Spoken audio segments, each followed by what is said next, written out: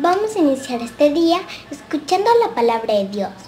Hoy escucharemos al evangelista San Mateo, que nos muestra cómo Jesús se transfigura frente a tres de sus apóstoles. Por esto vamos a pedir a Dios el Espíritu Santo para que nos ayude a escuchar con mucha atención. En el nombre del Padre, del Hijo, del Espíritu Santo. Amén.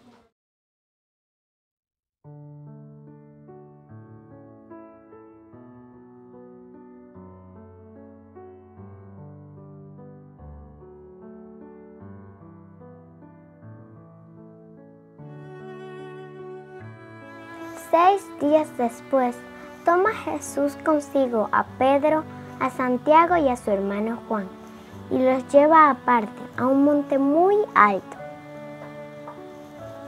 Y se transfiguró delante de ellos.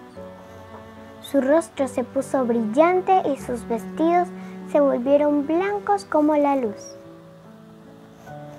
En esto se les aparecieron Moisés y Elías, quienes conversaban con él.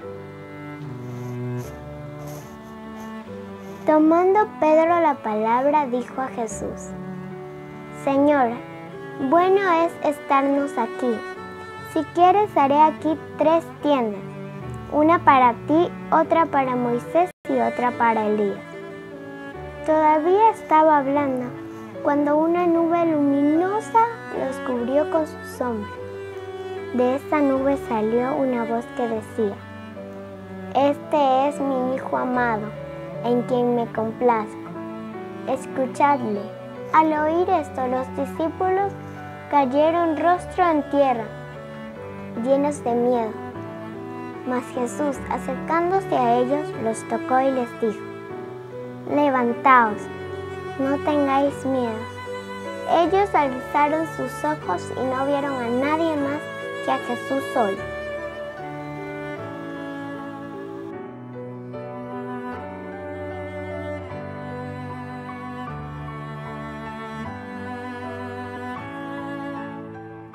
Qué hermoso escuchar a Dios por medio de su palabra. El 6 de agosto, la Iglesia Católica celebra la transfiguración del Señor. Por eso, les voy a decir cuatro datos importantes que todo católico debe conocer.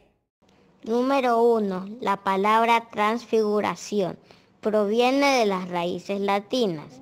Trans, que significa a través, y figuras que significa forma o aspecto. Por lo tanto, significa un cambio de forma o apariencia. Esto es lo que le sucedió a Jesús en el evento conocido como la transfiguración. Su apariencia cambió y se volvió gloriosa. Número 2. La transfiguración ocurrió en presencia de los apóstoles, Juan, Pedro y Santiago, los tres discípulos principales. Número 3.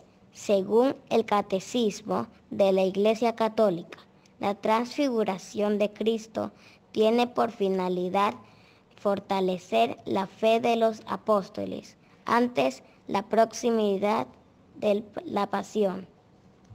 Número 4. Moisés y Elías. Representan los dos componentes principales del Antiguo Testamento, la ley y los profetas. Oración final. Dios nuestro, que en la transfiguración gloriosa de tu Hijo unigénito fortaleciste nuestra fe con el testimonio de Moisés y Elías y nos dejaste entrever la gloria que nos espera como hijos tuyos. Concédenos seguir el Evangelio de Cristo para compartir con Él la herencia de tu reino. Por nuestro Señor Jesucristo. Amén. En el nombre del Padre, del Hijo, del Espíritu Santo. Amén. Que tengan una buena jornada de clases.